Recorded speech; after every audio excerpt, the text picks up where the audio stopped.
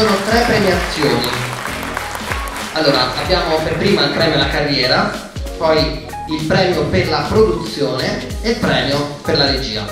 Allora, chi invitiamo? Invitiamo un attore a questo punto, no? E qui con noi, dall'Italia, Roberto Carrubba.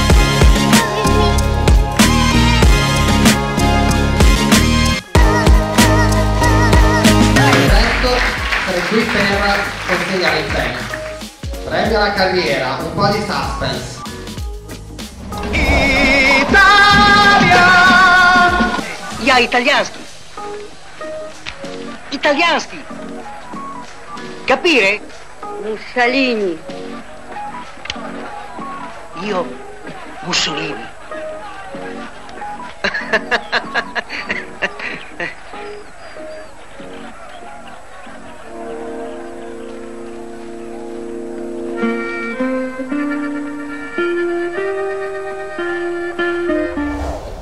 мной Лев Прыгунов.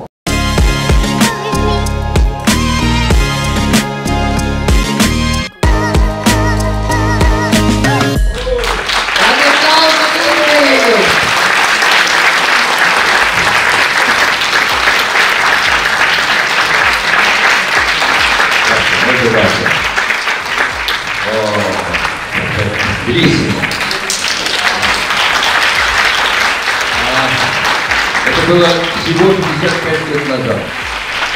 Ma adesso si sculture pronto stesso. Consegnare il prossimo film alla, alla produzione.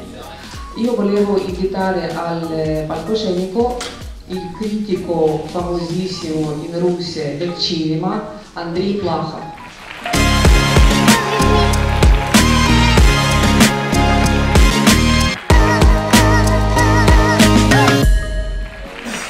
Eh, premio produzione al produttore e direttore generale della società di produzione del Centro Sperimentale di Cinematografia, Elisabetta Bruscolini.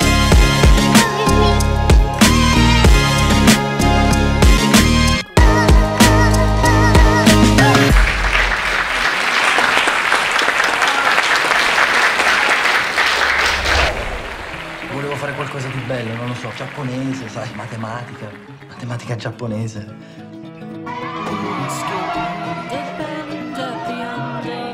Ti ricordi? Certo che mi ricordo. Hai finito il deficiente? Io ti sto antipatico, sì? Perché mai vuoi entrare a far parte di una squadra di hockey? Non mi ha detto una parola. Aspetta, le stelle non si sbagliano. Agata, ti piace? No.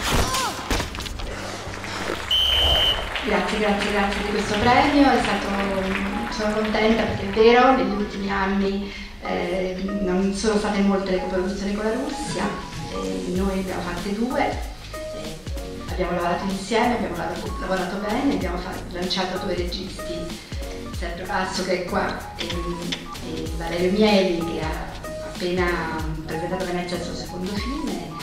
quindi speriamo, speriamo davvero di fare ancora tante cose insieme.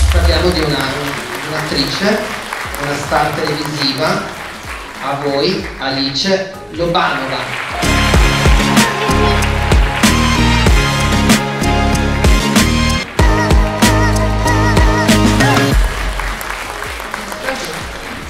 Меня большая честь э, быть приглашенным гостем на такое, на самом деле, прекрасное мероприятие, как фестиваль имени итальянского и русского э, э, искусства, да, и связанного с кино. Потому что я считаю, что это самый lучший старт. Allora, questo premio va dato al regista. La sua prima coproduzione si chiama, si chiama Любовь пред апарте e ora va premiato col premio Felix.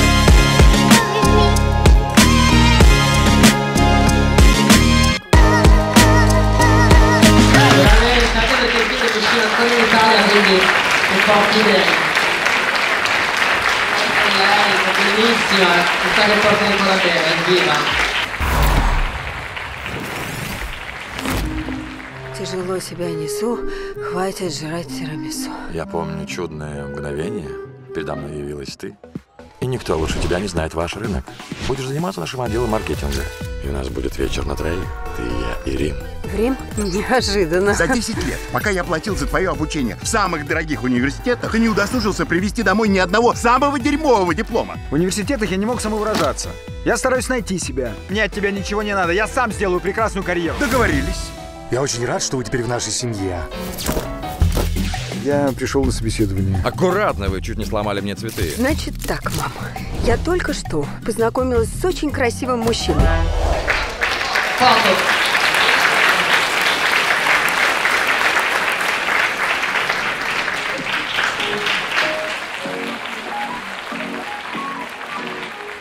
Eh, sono contenta appunto di poter eh, dire che Regione Lombardia anche come istituzione eh, partecipa patrocinando questo- questa iniziativa straordinaria eh, perché è giusto, è giusto che le istituzioni eh, dire, aiutino questo genere di manifestazioni, non soltanto che intervengano in tutti i settori culturali, direi con incentivi finanziari, cosa essenziale perché purtroppo per fare queste manifestazioni servono anche quelli, ma anche con un sostegno e una vicinanza istituzionale che sia il segno di una eh, volontà di promuovere cultura e di promuovere cultura cinematografica. I rapporti, come è stato accennato, tra Milano e la Russia sono molto solidi. Eh, con la funzionaria che mi ha accompagnato Marica Bazzani abbiamo sviluppato in questi anni le giornate di Mosca a Milano per esempio, nell'ultima edizione che abbiamo tenuto un anno fa presso il consolato generale della federazione russa ho avuto l'onore di partecipare in rappresentanza del comune di Milano come il console generale della federazione russa qui a Milano. Io trovo che sia davvero importante avviare un festival del cinema eh, russo qui a Milano perché eh, c'è bisogno anche del crossover, che è una tecnica che di solito conoscete in musica. Io penso che può essere trasposta tranquillamente nel cinema, perché c'è bisogno non solo di un mix di capitali, ma un mix anche a livello narrativo, a livello di soggetti. Ma adesso siccome non possiamo più parlare di confini fissi, parliamo di intercultura, di scambio culturale e quindi un'occasione di questo tipo per trattare soggetti nuovi.